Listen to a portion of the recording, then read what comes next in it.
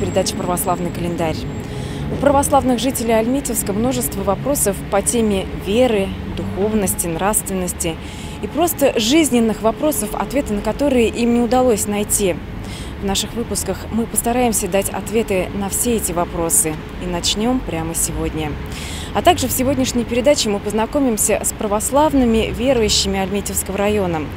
А еще узнаем о больших переменах в жизни жителей села Тихоновка Альметьевского района. Ведь долгие годы пустовавшее и заброшенное здание обрело вторую жизнь.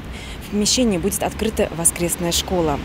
Обо всем этом сразу после рассказа о ближайшей значимой дате церковного календаря.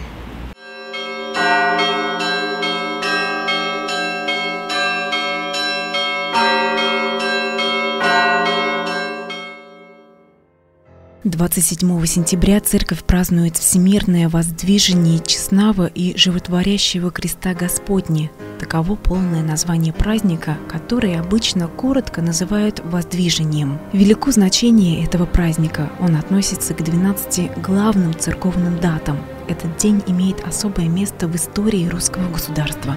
С того, как в Византийской империи стал править император Константин, святой равноапостольный, он э, своим указом определил, что православие является государственной религией. И вот его мать, святая царица Елена, в это время отправляется в город Иерусалим для того, чтобы там найти все святыни, связанные с жизнью Господа нашего Иисуса Христа. Но прошло уже более 200 лет, и, конечно же, многие святыни сохранились. О многих святынях сохранилась и память у последователей христиан в Иерусалиме. Но никак долго не могли найти крест Христов. Но по прошествии времени нашли старого иудея, который признался в том, что он знает от своих предков, где находится крест Господень. Он указал это место близ горы Голгофы. Близ этого места этот иудей показал место, засыпанное различным хламом, мусором, то есть яму, в которой в свое время собирали воду. Вот, и когда стали откапывать, то нашли крест Господень. Там находилось три креста, ибо и в Евангелии говорится о том, что Господь был распят вместе с двумя разбойниками. Один был благоразумный разбойник, другой был разбойник, который хулил Христа. И вот все эти три креста были сброшены в яму и засыпаны мусором. Как раз когда кресты извлекали из земли, мимо проносили покойника на погребение. Процессии было велено остановиться, и тогда поочередно к покойному стали возлагаться кресты, когда на него возложили третий крест, крест Христовый, умерший внезапно ожил и сел. И вот тогда этот крест омыли водой, потому что он находился, конечно же, в этой яме, то есть находился ну, в месте, где, куда сбрасывались различные мусорные частоты. И вот крест был омыт водой, и он воздвизался э, священнослужителями на все четыре стороны, на восток, на запад, на юг и на север. И пелась молитва «Господи помилуй». И вот э, этот день мы вспоминаем как день прославления креста Господня. То есть крест был явлен миру, и совершились великие чудеса. Совершилось воскрешение этим крестом мертвого человека. И люди стали поклоняться этому кресту. И, конечно же, крест Христов почитается и по сей день, не только как символ нашего спасения, но как и оружие против всех темных сил.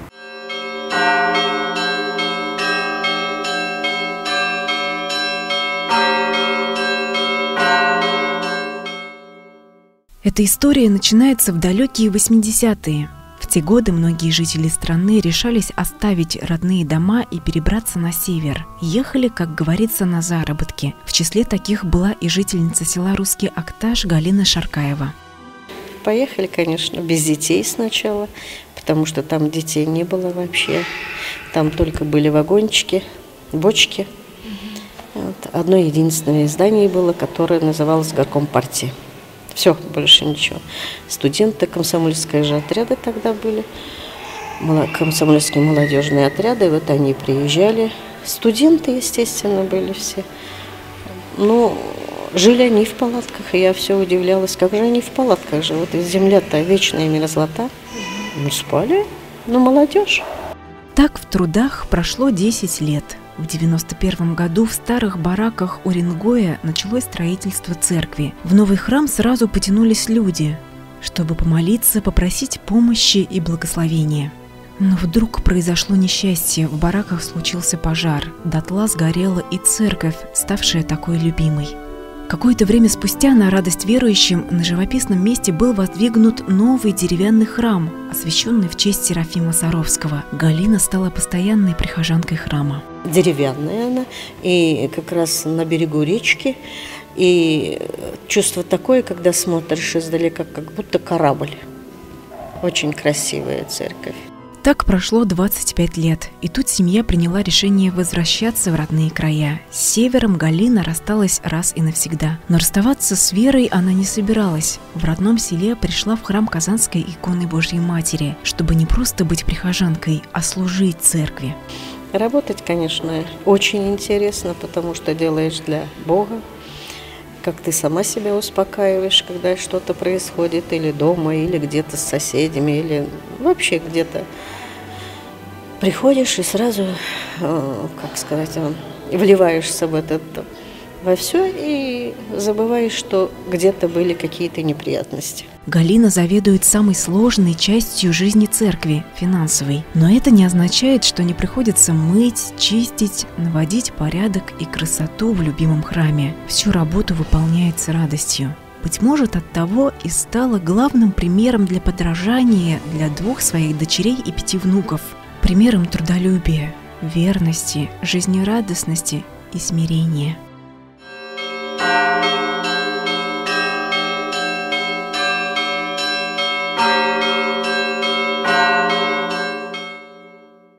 По поводу того, как должны дети обращаться к родителям, на «ты» или на «вы», конечно же, э, мы взираем всегда на пример церкви. Вот в церкви э, Господь называет нас своими детьми. Если мы вспомним э, момент его распятия, то, обращаясь к Иоанну Богослову, который стоял рядом с крестом, рядом с Девой Марией, его Пречистой Матерью, то Господь говорит, женщина – это твой сын, а ему говорит, это мать твоя. То есть Господь нас усыновляет всех – через Иоанна Богослова, через э, Деву Марию усыновляет всех, делает детьми Божьими. Вот. И, конечно же, отношение к Богу, оно определяет отношение и к родителям. Есть пятая заповедь, в которой сказано о том, что чти отца твоего и матерь твою, и благо тебе будет, и долго будешь жить на земле. Действительно, не просто так почитание родителей выводится в отдельную заповедь, ибо родители – это те, кто дали жизнь человеку. И почитать их мы обязаны – мы помним э, такие вот нехорошие примеры из Библии, как э, поведение Хама, одного из сыновей Ноя. Если мы вспомним, то после э, всемирного потопа осталось три сына у Ноя, и вот когда они находились уже недалеко от того места, где их ковчег пристал на горе Арарат, то Ной э, съел сквашенного винограда и опьянел. И вот он разделся и лег палатке спать. Сын зашел и стал смеяться, хам стал смеяться над отцом. Другие же два сына, Сим и Афет, зашли пятясь, чтобы не видеть ноготы отца своего, и покрыли его покрывалом. И когда Ной проснул, то он, проснулся, то он проклял хама. И действительно, вот у нас говорят хамское отношение. То есть это отношение такого вот неблагодарного, неучтивого сына к своим родителям. Это, конечно же, страшный грех. То есть он был проклят, и потомки то есть было сказано в проклятии, что и потомки твои будут всегда служить двоим братьям. И действительно, э, по церковному преданию, вот племя Хамова, из которого пошла негроидная раса, они очень долго были в порабощении и действительно были рабами. Это проклятие сохранилось вот именно от поведения этого сына Хама. Но говорить о том, как нужно обращаться к родителям на «ты» или на «вы», если мы посмотрим, то в церковном богослужении, в своих молитвах к Господу Богу мы обращаемся на «ты». Господи, помоги нам, Господи. Ну, то есть всегда обращаемся именно на «ты». Это говорит о чем?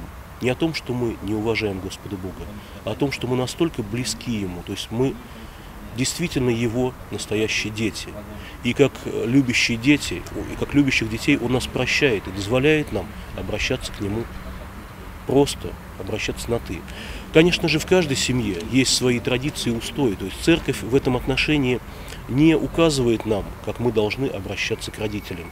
Но по примеру э, богослужебной практики мы можем, конечно же, обращаться к родителям и на «ты». Если же семья ну, считает себя интеллигентной, действительно воспитывает детей так, то ничего плохого не будет, если родители, дети, дети будут называть родителей на «вы». Это просто говорит о их уважении, о их воспитанности. Поэтому, то есть церковная точка зрения здесь э, не обозначена жестко, потому что, вот я еще раз говорю, мы к Господу обращаемся на «ты», и Господь за это нас не наказывает, но милует по своей великой любви. Также и родители сами же, конечно, должны определиться, как они будут воспитывать своих детей и учить их обращаться к ним на «ты» или на «вы». Это личное дело каждой семьи.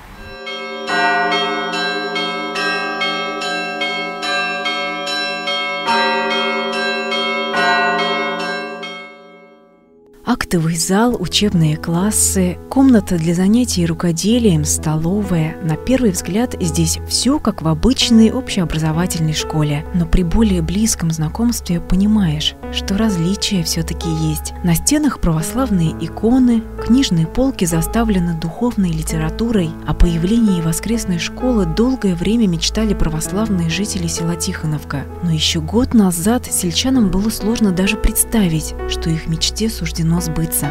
Здесь будут готовые уже кабинеты, сейчас ведется ремонтные работы. То, что, думаю, и присоединятся еще некоторые люди, прихожане, которые помогут в этом, чтобы дети уже сидели новых кабинетах, э, в новой трапезной, с приятной душой, чтобы понимали, что сделано все с любовью для них.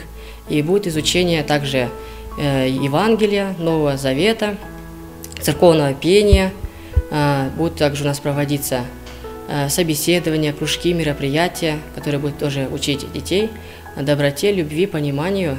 Здесь и прежде располагались классы школы, обычной, светской – Потом дети перебрались в более просторное здание, а бывшая школа осталась пустовать. И тогда церковным советом было принято решение переоборудовать классы для занятий православными дисциплинами. Косметические ремонты проводили исключительно на пожертвования прихожан. И уже сегодня все работы практически завершены. Составлены и списки воспитанников воскресной школы. По предварительным подсчетам, уроки по хоровому пению, изучению Слова Божия и литургического предания будут посещать около 50 ребят из православных семей. Но педагоги уверяют, если желающих будет больше, возьмут всех. Большие перемены произошли и в жизни самой церкви, которая притягивает взор каждого проезжего странника и любима каждым православным жителем села Тихоновка – Деревянная церковь имени архистратига Божия Михаила построена прямо возле дороги на месте старого разрушенного храма. Было это в 1996 году при настоятеле отце Иоанне. В Кировской области из добротного леса изготовили сруб, который в разобранном виде привезли в Тихоновку. Собирали на месте своими силами. В просторном храме установлены два киота, куда положены особо чтимые иконы из старого храма – Божьей Матери Знамения и храмовая икона Архангела Михаила. Имя отца Иоанна чтят здесь и по сей день. И продолжают добрые традиции, начатые в годы его служения. Храм постоянно преображается и становится все краше. В этом году было очень много сделано. А, во-первых, у нас поменялись палы, как вы видите, очень красиво стало. А, пере... Произошла перестановка икон. Тоже это сказалось, скажем так, ну, очень хорошо, потому что, прежде всего, открылись окна, света стало больше, скажем так, э, иллюзорно храм стал еще больше, освещение получилось довольно-таки, ну, богатый. Вот сейчас, вот, на мой взгляд, э, ну, очень хорошо в храме. По сравнению, вот, если вот вы февраль сравнить, то перестановки большие произошли. Но главная перемена в жизни храма – это то, что всего несколько месяцев назад в храме стал служить новый настоятель – отец Михаил. Он родился и вырос в Казахстане, но судьбой было решено так, что он перебрался в Альметьевск и возглавил служение в Тихоновском храме. Как мы знаем, что в Центральной России как бы тоже очень сильно э, развивается православная вера, молится, молитвенность, то, что именно и здесь тоже надо просвещать народ – вот, молитвой, любовью, заботой. Скоро забота в жизни батюшки Михаила станет больше. Ему же предстоит возглавить служение в будущем храме микрорайона Урсала. Пока положено только начало. На месте будущего храма установлен поклонный крест. Слава Богу, уже, можно сказать, в этом году произошло освящение креста, на месте котором будет стоять храм великолепный честь новомучеников, исповедников Церкви Русской. Именно этот храм посвящен тем людям, тем мученикам, которые пострадали в, гону, в годы гонения, вот, которые по помучились, пострадали за веру Христову, вот этот храм. И уже было отрадно, когда Владыка Мефодий э, приехал освящать крест, в водружении креста было, и народ очень радовался, ликовал, что у них будет крест. Даже вот я сейчас приезжаю по территории смотреть, как бы мы ограждение территории проводим, смотрим, как будет правильно это сделаться. И подходят к нам родители с детьми, и говорят, как здесь хорошо, что стоит крест, что мы сможем детками подойти, помолиться. Дети даже уже к кресту подходят, целуют крестик. Вот тоже как бы для них это малая такая церковь уже с самого начала. А открытие воскресной школы в Тихоновке отец Михаил называет божьим промыслом, если не чудом. Ведь большому делу предшествовало немало препятствий. Хотя бы то, что изначально ее планировалось построить в другой части церковного двора. Но строители при раскопке фундамента обнаружили здесь захоронение бывшего кладбища. К чести местных властей они отказались строить школу на костях своих односельчан. В 2004 году на этом месте была возведена часовня, которая и сегодня, как символический страж, охраняет село. А с открытием воскресной школы станет особым местом для всех воспитанников. Часовня посвящена именно тем воскресной школе ребятам, вот именно для них она будет. Для ребят, для молодежи, чтобы каждый молодой человек – мог знать, что это для них часовня для молодежи, они могут прийти помолиться, свечку поставить наедине, вознести молитву к Богу.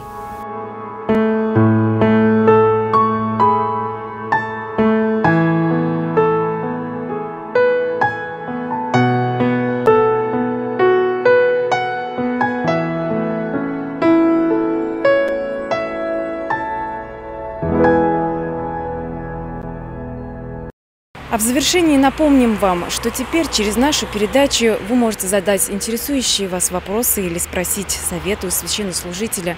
Пишите нам на адрес электронной почты или звоните по телефонам, указанным на ваших экранах. Ну а сейчас настало время прощаться. Это была передача «Православный календарь». Всего вам доброго!